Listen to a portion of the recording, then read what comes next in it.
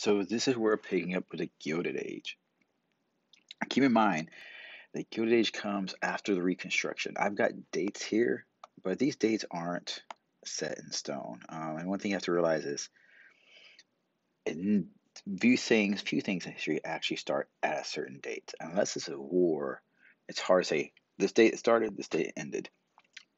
Time periods or time errors, if you like the Gilded Age or Civil Rights era or the Cold War, it's never an on and off switch. But this gives you kind of idea of the time period we're working at. Um, 1880 is when we're going to start. But the Gilded Age is a part of America that um, is often forgotten about. Um, and it showed America a different pathway in history. The first half of U.S. history, um, you're always taught how we didn't want the big government involved, how we didn't want a replication of a tyrannical government like the King of England, right? So government stay out. Now, starting with the Gilded Age and the second half of U.S. history, that's when things change dramatically. And that's when we start seeing the government get involved, and people are going to want that. They're actually going to demand it.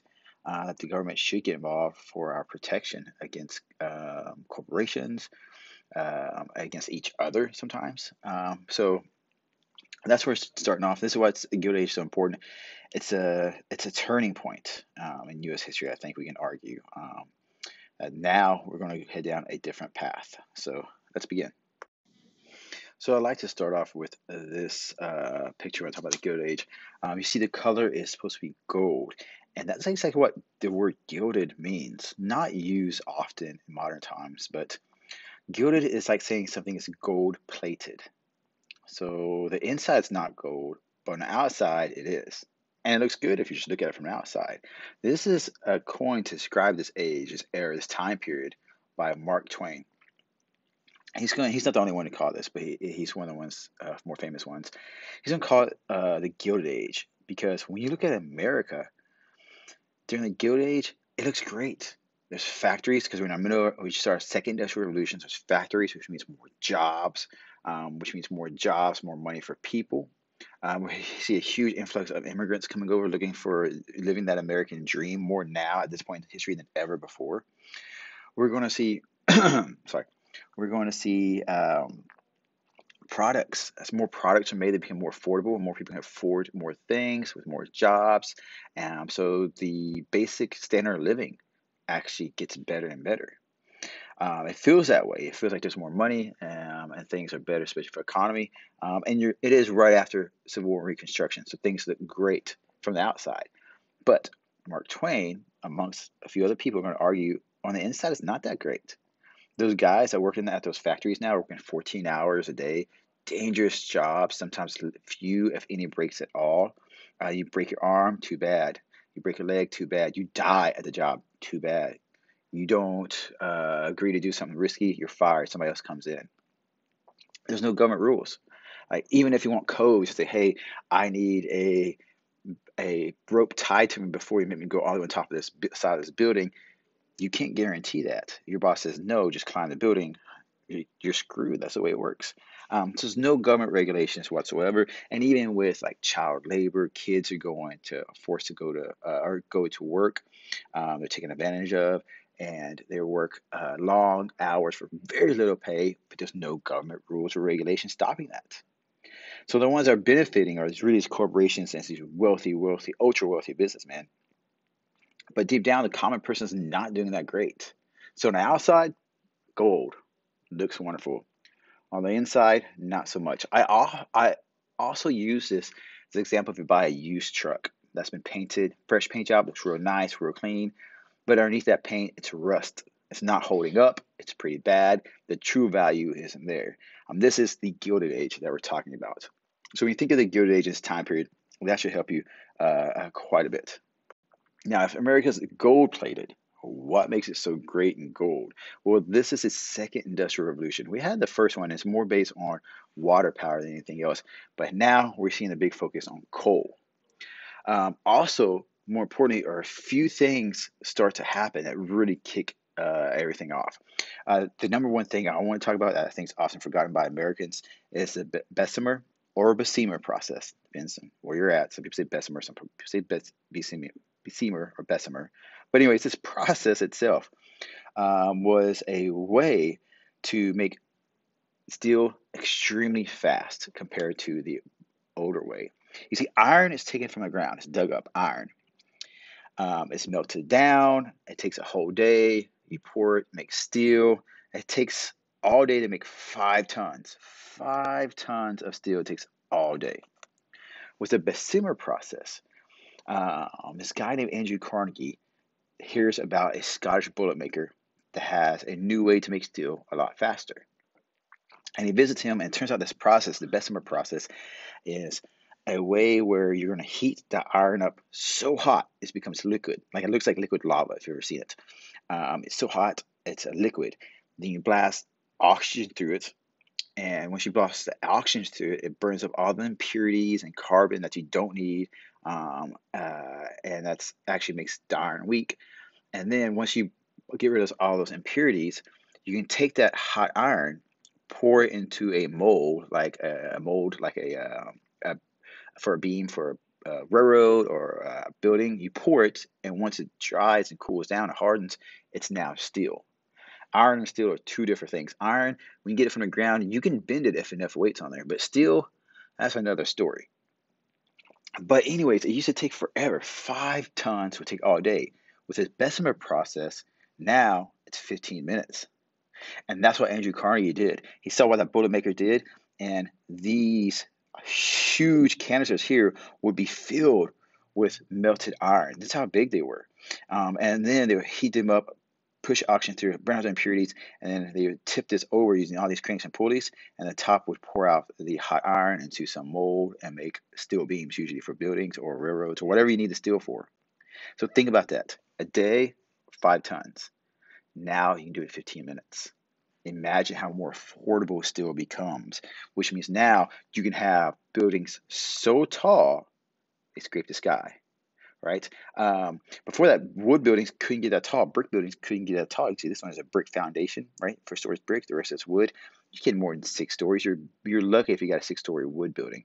But with steel, you go pretty tall. And now that steel is cheap and affordable, you can afford to make a tall building. So things change dramatically with the Bessemer process. Uh, it's one of the most important uh, discoveries and what makes Andrew Carnegie so wealthy. He produces so much of steel, he's going to dominate the steel industry. Um, he puts everybody else out of business with his new uh, means of production. Also, widespread use of electricity. Somebody asked me in class the other day, uh, they're electricity was around 1872. I'm not saying that because technically, telegraph is electric impulses sent through wire, um, just dots and dashes of it, right? Um, but electricity wasn't widespread, wasn't everywhere until roughly the 80s. And even then, even then, keep in mind, places like rural Tennessee, they don't get electricity until 1930s. So um, it's not everywhere, but now we're going to start seeing it in more major cities and get pushed out. Speaking of cities, it is important to realize that if you have more factories, whether it's steel, oil, or anything, it means you're going to have bigger urban areas. The word urban is the same thing as city. Okay. Rural or U R A L is the countryside. Don't get those confused. You need to make sure you understand that in general, right? Suburbs or areas outside the urban city. So we think of Houston as urban, the outside areas like Cy-Fair, Pasadena, maybe Pearland, um, Sugarland, those are suburbs to uh, Houston. Just keeping that in mind. Um, also, inventions are created now are needed, um, and you're thankful that they're created. This is a picture of actually an elevator. The passenger elevator um, is invented for these skyscrapers. Um, imagine how inefficient or how impractical it would be to have a skyscraper until you have an elevator, especially once you have an electric elevator. All right, that changes everything. All right, and of course you can go see the big, beautiful skyline of Pittsburgh. Um, that's actually where steel plants are located. If you're curious as to why, or um, if you're curious if it has anything to do with the name of the football team, yes, that's why it's called Pittsburgh Steelers, um, because it's steel plants of Pittsburgh in that area. Supposedly, Jerry Jones um, or Dallas Cowboys, when he built his new stadium, refused to buy uh, steel from Pittsburgh and bought it from China because he hates the Steelers so much. Um, but who knows if that's actually the truth. All right, so a couple guys you need to know, and this is really big with our state test in Texas. Um, Alexander Graham Bell, which most people know him for the telephone. Um, and that's right. Uh, if you keep that in mind, he is going to uh, create a telephone, which really was just a complex version of the telegraph. Um, but it does uh, create instant communication um, for person to person, for common person to person. Telegraph requires somebody to translate and somebody that knew Morse code. Um, but that telephone, is anybody can speak into it, anybody can listen. All you got to do is get it set up. So that is a pretty big deal for the second industrial revolution for the Gilded Age at this time. It is interesting because Bell Telephone Company will eventually become American Telephone and Telegraph Company. You know them nowadays as AT and T. If you're ever wondering um, where they get the uh, name from, um, that's where it is, AT&T. Um, but that's a pretty short version of uh, Alexander Graham Bell. Thomas Edison is a little more complicated. When you're young and little, you taught how he persevered, how he, no matter how many times he failed at creating this light bulb, he eventually found out how to do it, and he's an inspiration for many. And he's not the only inventor at the time. There's actually a man far more intelligent than him named Tesla, um, Nicholas Tesla. If you get a chance, uh, just type in TED Talk Tesla, and you see a really interesting video of a magician that presents the story and life of Tesla. Um, but our history books in, in, America tend to forget Tesla. Uh, Edison was a better businessman and tricked Tesla. Uh, he made Tesla look crazy and silly. Um, nowadays, we look back and we think, wow, that guy, he was just so far ahead of his time that he may have looked crazy to them. Um, that's why most people in science and do appreciate him. Elon Musk, the owner of Tesla company, names Tesla cars after him. Nikola, which is an EV company, they uh, they name their using Nikola Tesla's first name. Nikola Tesla is a, a, genius, but your history books and state tests don't mention him yet. Um, Thomas Edison is our guy because he comes up with the light bulb. Now, this is a pretty big deal for society because now, and this is what's really important is that you understand is that lights means that factories could work at night.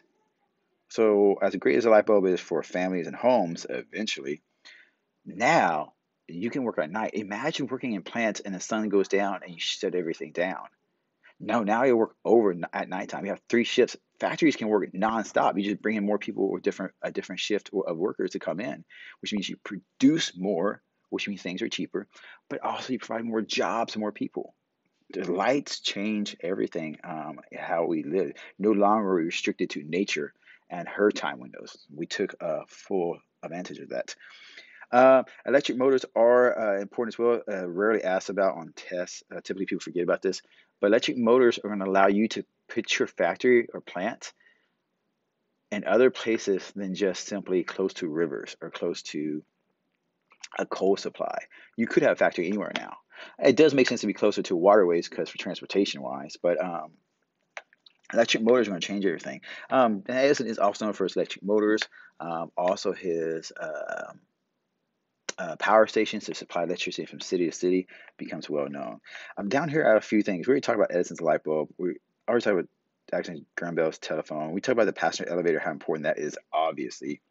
Airplanes are obviously important at the time, notable inventions. The electric typewriter and electric sewing machine really are important. You don't realize it, but imagine a printing press to electric typewriter.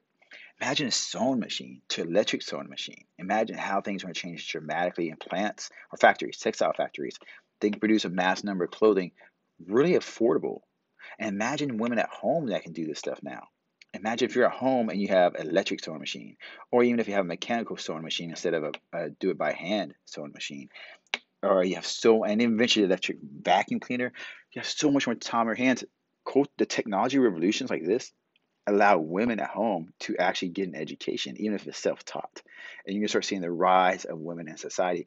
Actually, early on, I would argue as early as 1900.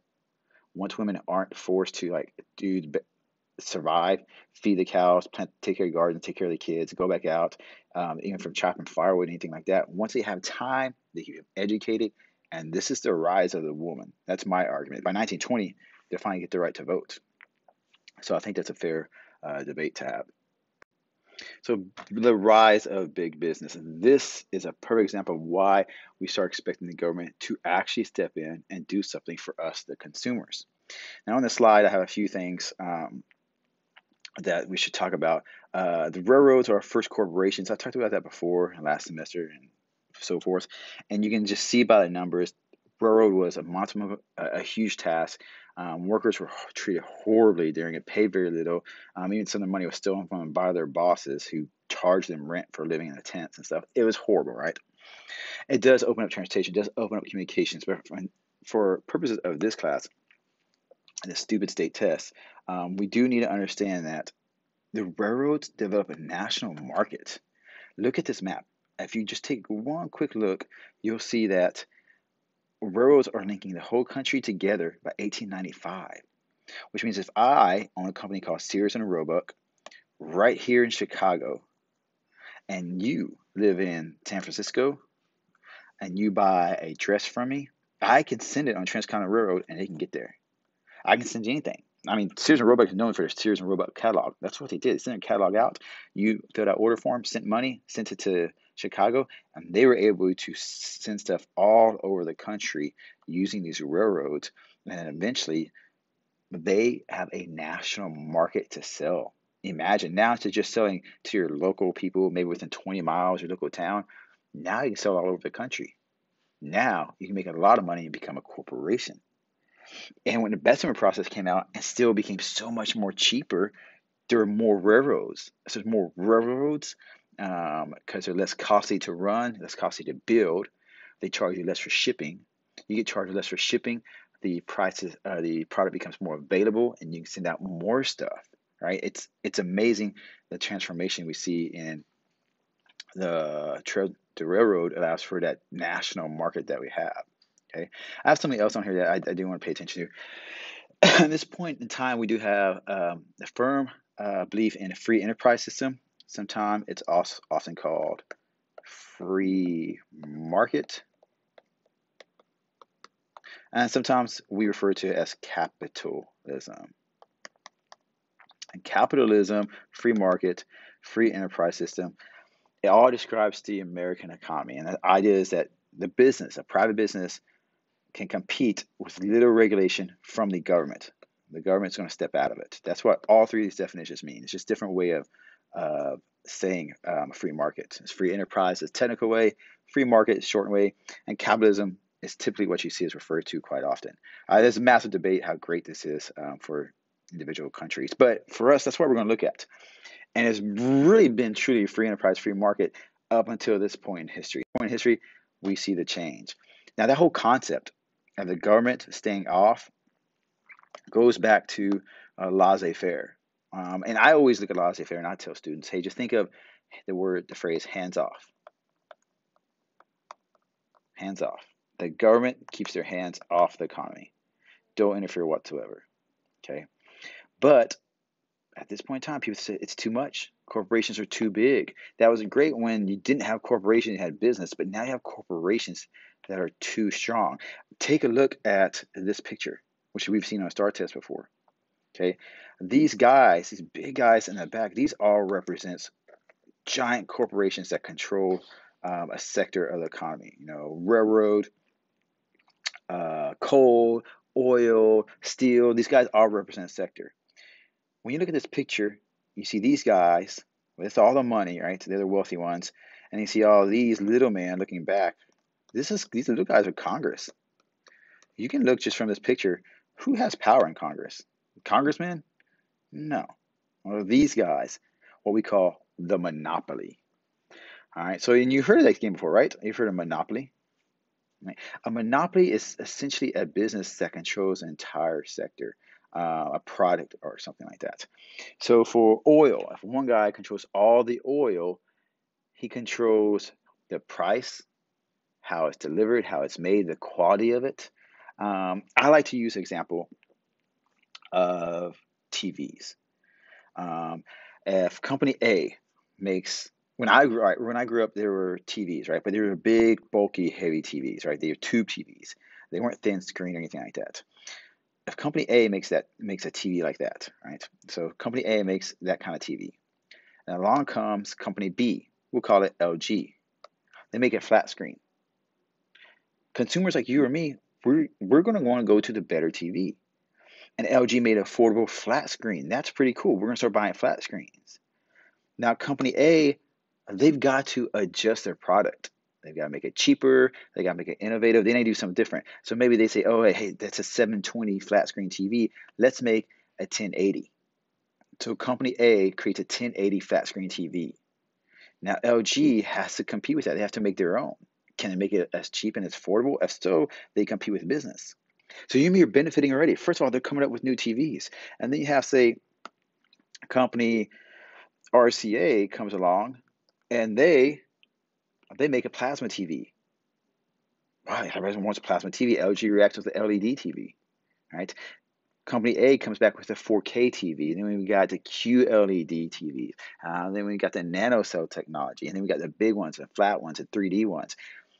You and me as consumers, if people benefit when there's competition. All right. Think of the alternative. Think of company A is an owning company that makes TVs.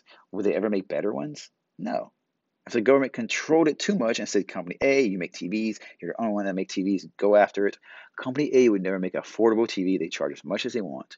They make as many as they want. They would never be innovative and try something new. Why would they? Because you have to buy from them. But free market says the government stays out and they can do whatever they want and compete with each other. That's great. But if one gets too big and too powerful, the others can't compete. We need competition. So, uh, since you have these giant corporations, and it really starts with railroads. Railroads were the first giant corporation, so it makes sense. Government says enough's enough, and Congress will actually pass the Interstate Commerce Act. And it was primarily aimed towards the railroads. These were the guys who were using unfair practices um, and charging their clients. Um, if they thought they could charge more to somebody, they charged more. It wasn't based on how much it cost to ship grain, it was like, hey, we can get all the money from this farmer. We can choke him and get all his money. And it became so unfair that eventually uh, Congress ends up says, okay, we're going to pass the Interstate Commerce Act. Uh, the word commerce, I always tell students, hey, it's just a fancy word for the for the word business. Interstate Business Act, right? And if you're saying, oh, that's not constitutional, keep in mind. Literally says in the Constitution, uh, the federal government can regulate commerce state to state interstate commerce. Railroads were the first target. To fix these railroads and unfair practices, um, it wasn't right. Now, eventually, they're going to take a step further and you're going to see these corporations and these monopolies and their unfair practices. They're buying out other companies, they're choking other companies. Rockefeller did this with oil. He would uh, tell the railroad companies, hey, you're shipping all my oil. That's great. But if you ship any of my competitors' oil out, I'm not going to use you anymore. And the railroad had to give in. The railroad said, all right, we, you ship so much oil, we have to have your business. And they tell this other company, sorry, we're not, we can't ship your oil. The other company goes bankrupt. Rockefeller steps in and buys the other company. That's totally unfair and wrong, right? Um, so the government stepped in and they created Sherman Antitrust Act, right? When you see the word trust, back then, that was the same word as monopoly. So I always tell students, hey, if you see trust, just think of this word as the word monopoly. And if you do, every time you see Sherman Antitrust Act, you think Sherman Anti-Monopoly Act, and you know exactly what it does. It meant the government could break up big business monopolies. And even today, this affects us. Recently, T-Mobile was trying to merge with Verizon, and when any company merges, they have to get the approval of federal government, and and they didn't approve it. Uh, they said no, you'd be too big and too powerful. And although the argument was like, hey, there's AT and T, there's Sprint, there's other ones. I said, no, that would make you too strong. Even AT&T couldn't compete with you. Um, and so eventually, over time, you'd have the full control of cell phone service. So Verizon Wireless and AT&T weren't allowed to merge. Was illegal and not allowed, and so T-Mobile ends up merging. I think it was Sprint or somebody differently now. But nonetheless, that's when the government starts stepping in. The first time is with the Interstate Commerce Act, mainly with railroads. But eventually, they're extended to Sherman Antitrust Act. I think of it as an Anti-Monopoly Act to break up those monopolies. But you can see why they thought it was a good idea. Just think about it. Um, the highway of competition is stalled and stopped. People can't compete because one monopoly, one trust controls everything, and the federal government is going to break that monopoly up and allow people to compete. So when you're thinking big government, you hate it, you see why now things change dramatically. That's why I always laugh at eighth grade US history teachers. They're so anti government because the first half of US history, everybody was. But once you start teaching past Reconstruction, past 100 years, 120 years, 150 years, like, oh, wait a second. I can see why we're at where we're at today. okay, so you notice I don't have anything underlined on here or bolded to highlight. I just want you guys to understand what's going on in the Industrial Revolution in the Gilded Age. And some of this you know already. Like children were working in huge numbers. One fifth of children under 15 worked. I've seen a statistic as high as one fourth of children. Um, horrible, dangerous jobs. And yes, it was because their hands were small, they didn't get side machines, but that wasn't the only reason. You gotta think about it. if your employer and you're hiring people to work, who can you boss around? A grown man or a whole bunch of children? Grown man tells you he's going to go take a restroom break. You're going to say, okay. Uh, you're less likely to fight with them. But kids, you can boss them around, tell them whatever you want to do. And there's so many kids out there, you just scoop them off the street, pay them a little bit of money, and to them, that's a little bit of money. Take it or leave it. That concept was, hey, if you don't like it here, get out. So, for instance, if uh, one of my employees said, um, I'm done uh, with this. Give me a raise. I want a little bit more money. I'd say, no, get out and just hire somebody else. There's so many other people ready to work. Conditions are horrible. I talked about this before. How um, you risk your life. There are no there are no safety codes. There's nothing there. The government did not regulate. If you got hurt, too bad, so sad, you couldn't work. Um, things are pretty tough, especially at those steel plants. Long hours, 10 to 14 hours a day where we're located in Baytown, a 12 hour shift isn't a huge deal, but you don't do that every single day except Sunday. Um, eventually, you're going to see why this turns into eight hour day and 40 hours a week becomes your standard. Um, this is the beginning of it. Um, this is how bad it was actually to work here, but things are going to change. things are going to change for the better, and that's really due to unions. It's the first time we introduce into this class, so I want you to understand what a union is. Think of an example would be in my classroom full of students. I got 30 students in there. Um, imagine if they were working for me. Um, everybody's working in a factory. I'm the owner of that factory. One student comes up to me, him Sebastian. Sebastian says, Hey, I demand more money, safety codes, and some health insurance or something like that. I say, No, get out, you're fired. I just replace him. You could do that back then. But everybody gets together. All 30 students get together. Like, hey, we work for this guy. If we all unite together, then we have more influence. So everybody unites behind Sebastian. They say, Sebastian, we're here with you. Sebastian, uh, everybody's united behind Sebastian. He forms a union. Everybody's united. He comes up to me and says, Hey, we want uh, more pay. I say, No, I'll just fire you all. And he says, Fine. We, qu- we quit or we protest. Uh, we go on strike. Uh, we slow down work.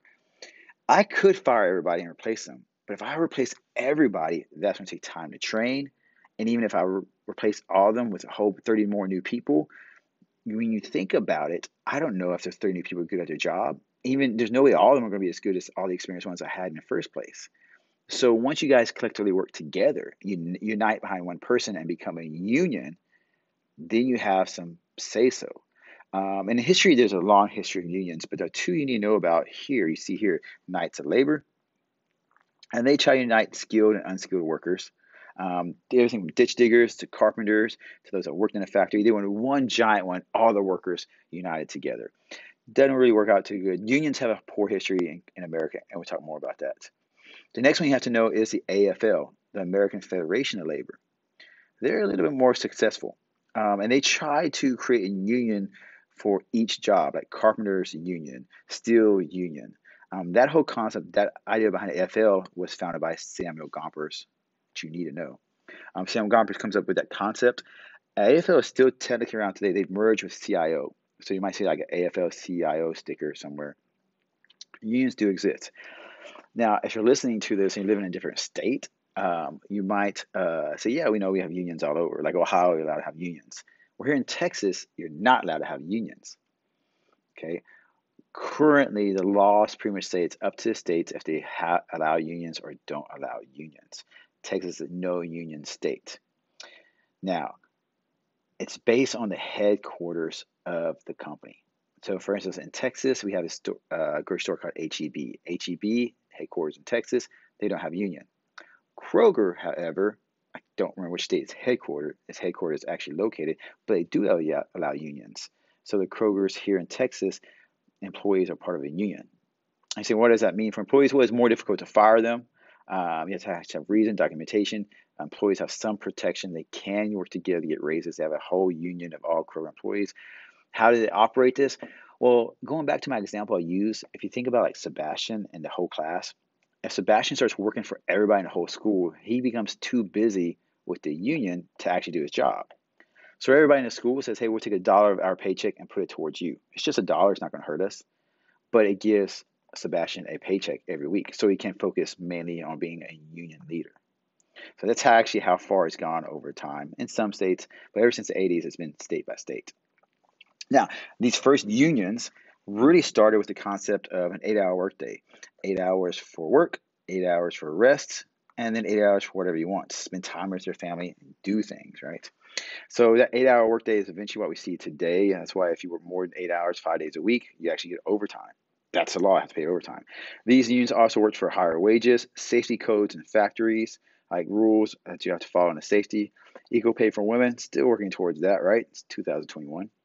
Uh, Post child labor. This is what's kind of sad. Everybody's like, hey, you know, great, we got rid of child labor, we did the right thing, put children in school. You got to be realistic about this. Um, the unions didn't want child labor because children were taking their jobs, not because they cared. Um, it's sad, it's true.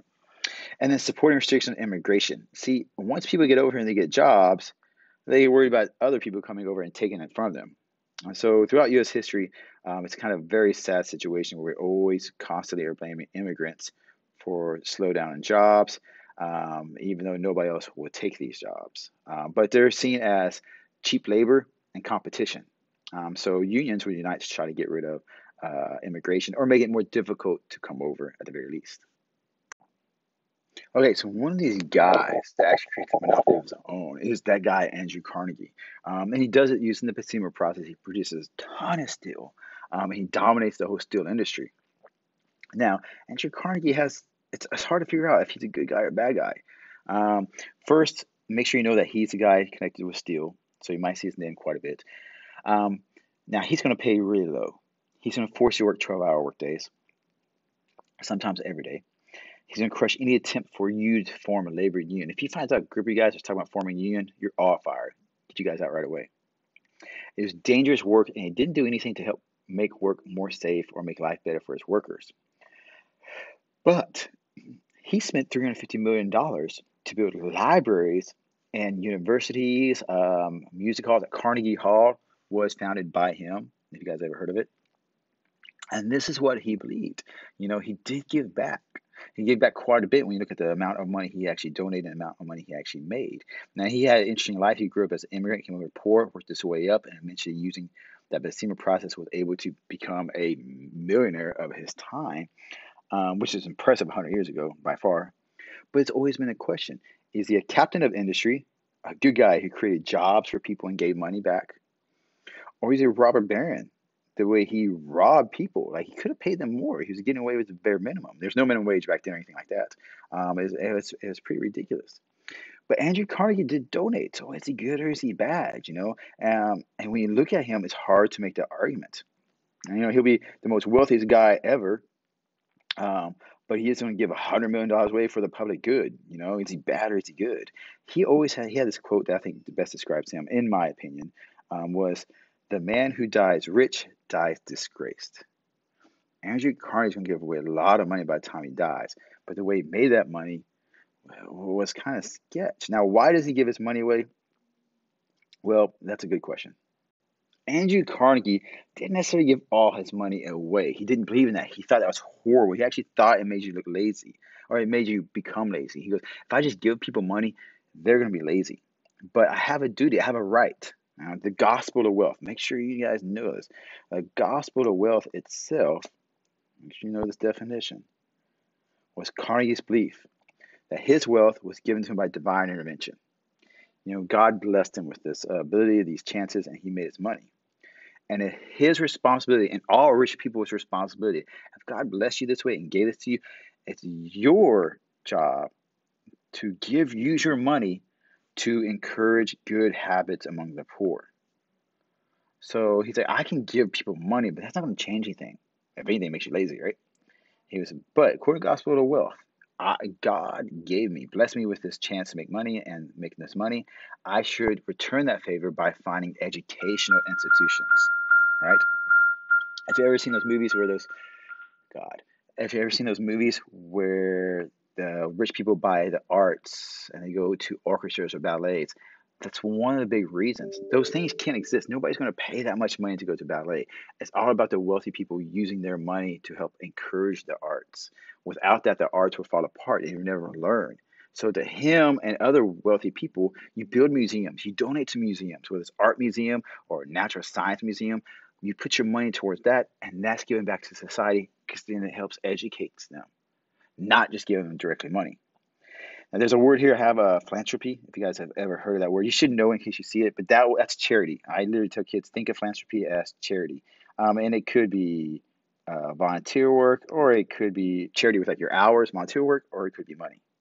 But this is uh, the question we have to ask. You know, is this guy really um, a good guy or a bad guy? You know, he gives up away so much money in his life, but how he makes it is is pretty harsh. Another guy we need to talk about is oil tycoon Rockefeller. John Rockefeller.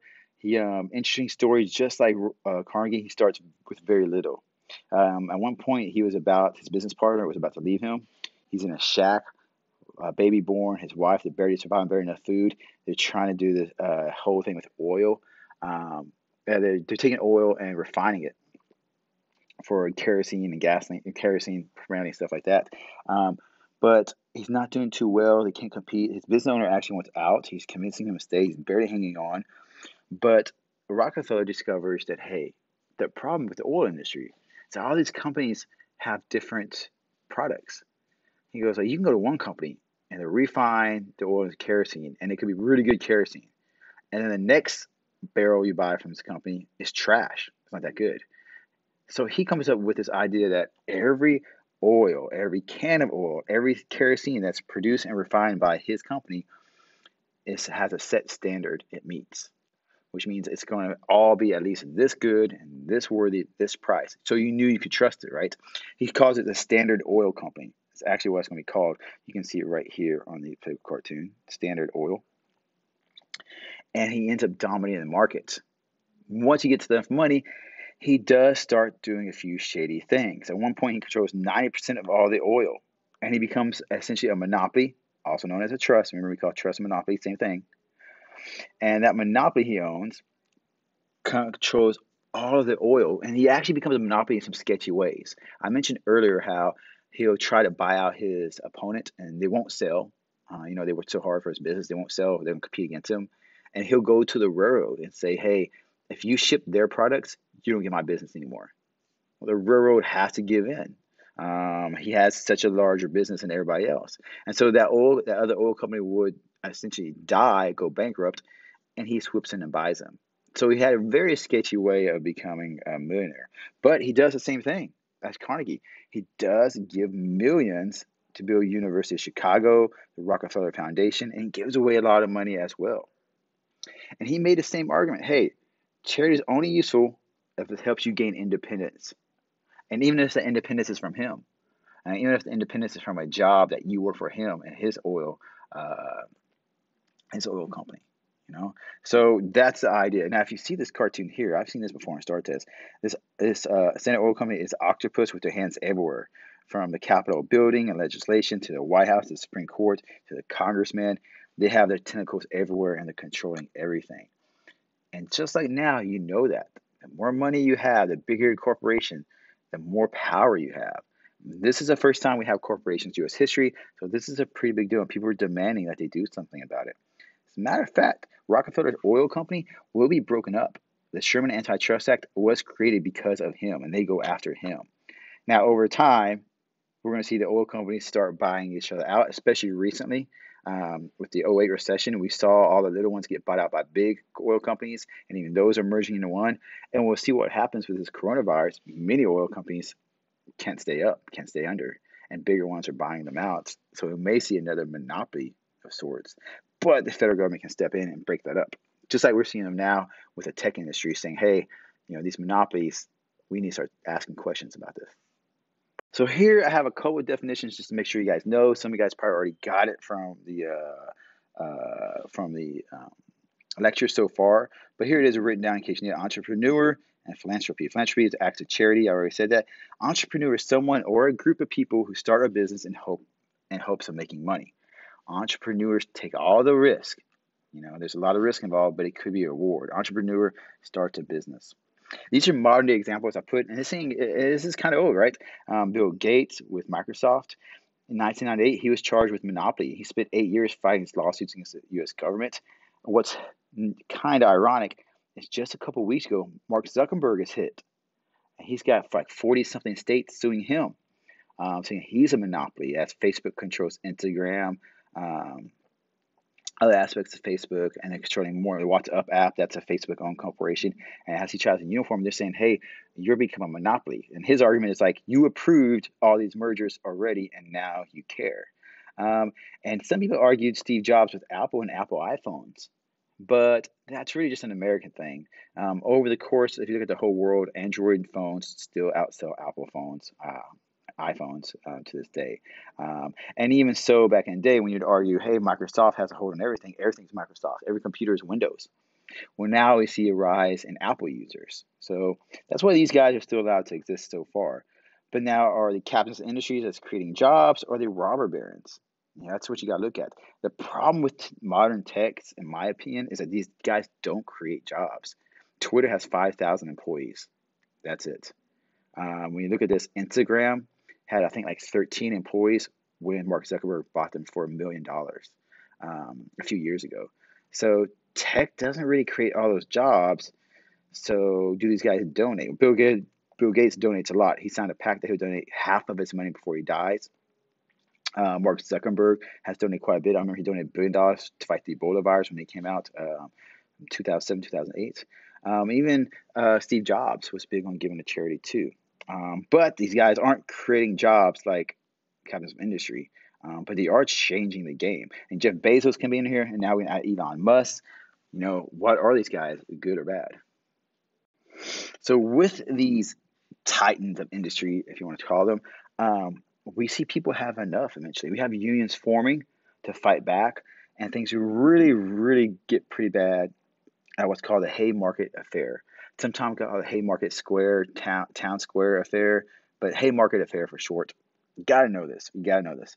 Um, essentially, the Haymarket affair really started with um, a strike that was going on the day before a strike worker was killed. A striker was killed. He was on strike working, uh, or he was on strike protesting, boycotting, uh, marching in front of uh, the factory.